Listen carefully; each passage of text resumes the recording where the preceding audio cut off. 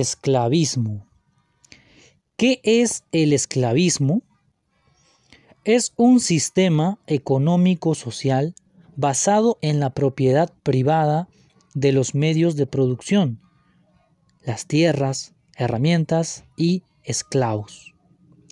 El esclavismo es la primera forma de explotación del hombre por el hombre. En este sistema, un grupo de seres humanos son tratados como simple mercancía.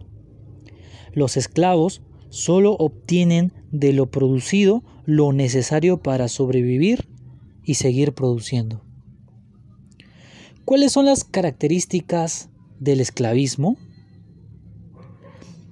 Primero, este sistema fue protegido por el Estado esclavista a través de las leyes, la religión y las milicias.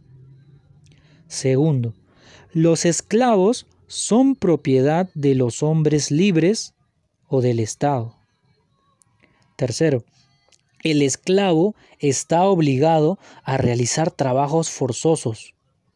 No es dueño de su tierra de trabajo ni de su vida.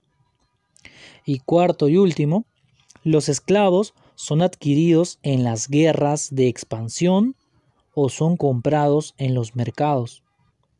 También existe esclavitud por deudas. Esto fue el esclavismo. Mi nombre es el profesor Edinson Yapasicuro. Espero que este tema y este video les sea de mucha ayuda y puedan aumentar más sus conocimientos. Nos vemos en la próxima. Antes de cerrar, tengo un mensaje muy especial para todos ustedes toma tu like. No, ese no es el mensaje. Acá les va. El consejo de este video es, haz siempre aquello que tanto te gusta, aquello que tanto te hace feliz. Relájate, evita el estrés en exceso y haz eso.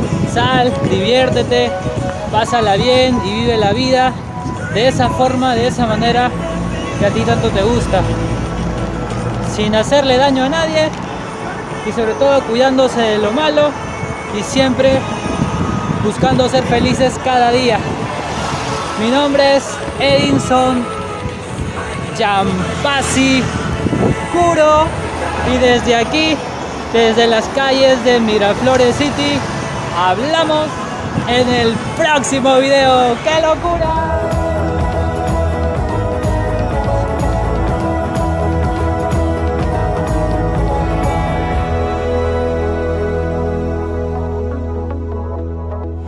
Fuimos. Ya, hay un carro detrás de mí, corre. Que no cambie, si no me voy a morir.